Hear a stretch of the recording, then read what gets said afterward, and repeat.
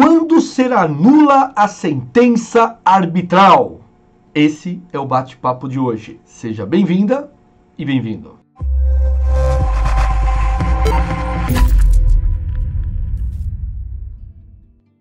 Tudo bem com você? Quem fala aqui é o professor Gleibe, fala o nome da Jus Expert, jusexpert.com e venha para o melhor curso do Brasil. Tem muita informação.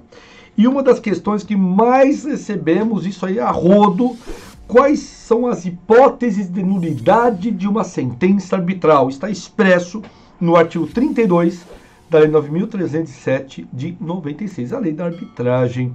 E quais são as hipóteses? Primeiro, quando nula a convenção da arbitragem. Ou seja, foi feita sobre coação, sem explicação ou sem assinatura.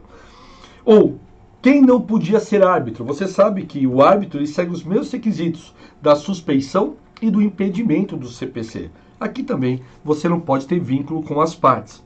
Outra hipótese, se não respeitar os requisitos do artigo 26, que já foi tema trabalhado com todos aqui, tá bom? Os requisitos da sentença.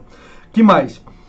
o árbitro ele não pode também dar uma decisão que vá fora dos limites da convenção da arbitragem.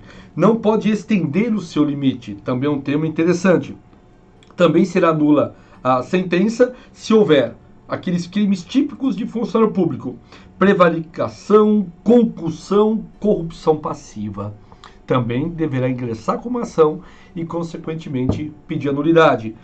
Também cabe Tá bom, gente? A nulidade da sentença se ela for fora do prazo. E por fim, e não menos importante, se não respeitar os princípios do artigo 21 da Lei 9.307 de 96.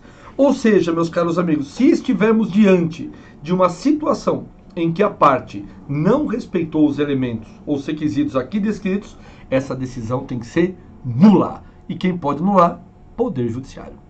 Quer saber mais, pessoal? jusexpert.com e venha para o melhor curso do Brasil. Até a próxima.